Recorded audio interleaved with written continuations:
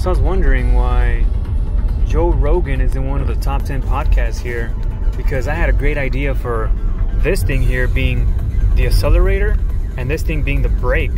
I mean, wouldn't that make it cheaper without having to uh, install a accelerator pedal down here where I have my leg so it can rest easier and stretch it out more like, ah, pressing this button up here, up, down, brake, I mean, acceleration, brake, acceleration, brake. Easy, right? My goodness, can we see anything through this window?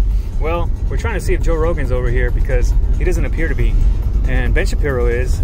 He's a pretty cool, uh, a Jewish person that I'm pretty sure knows all about the Pentateuch and the Torah and the Old Testament and Moses and Onkelos because the Bible was written in Hebrew because they have the those letters that the fraternities like to use in college and that's why they uh, use those letters because for whatever strange reason the Greek culture was the first one to write and not the Chinese culture. Weird, right? Cools.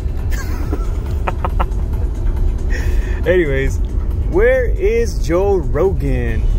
Because where's Dan Bong- there's Dan Bongino. I've heard of him. I used to have him on Twitter. I wonder what happened with that. Twitter, yeah. I think they didn't like my comments too much, but at least I have this recording that I'm doing right now.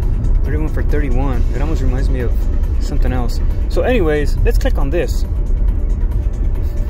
The Ben Shapiro Show. Only one star. Oh no, that's well, that was yesterday. All right, we'll stop there.